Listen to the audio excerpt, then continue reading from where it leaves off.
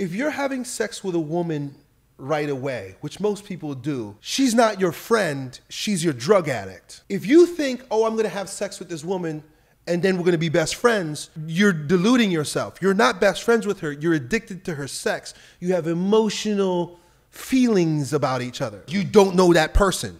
All you know is the feelings that they give you.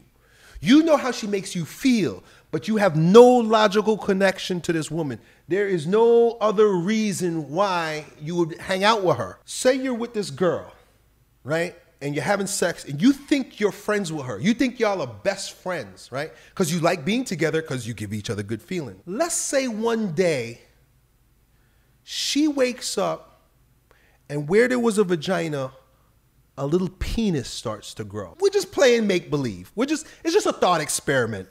Hang with me. Imagine everything's the same. She's the same. Look the same. She even had boobs.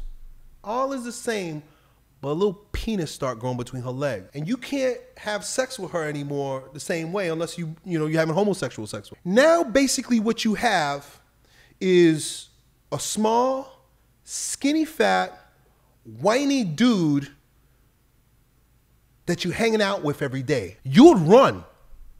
You have to really ask yourself, what am I doing? Why are you here? My point is that if you stop having sex with your so-called best friend, nine times, especially if they're fornicating, that means she's not your wife. Nine times out of ten, there's no reason for her to be in your life. Why?